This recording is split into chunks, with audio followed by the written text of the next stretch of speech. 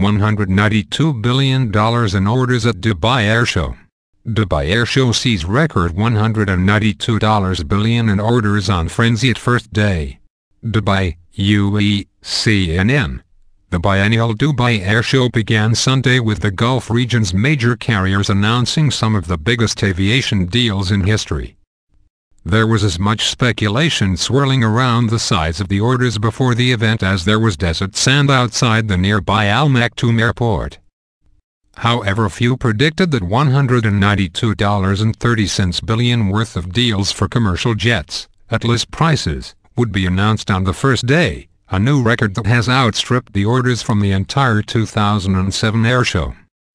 The region's three big players, Etihad, Emirates and Qatar Airways, announced orders for 393 new commercial planes.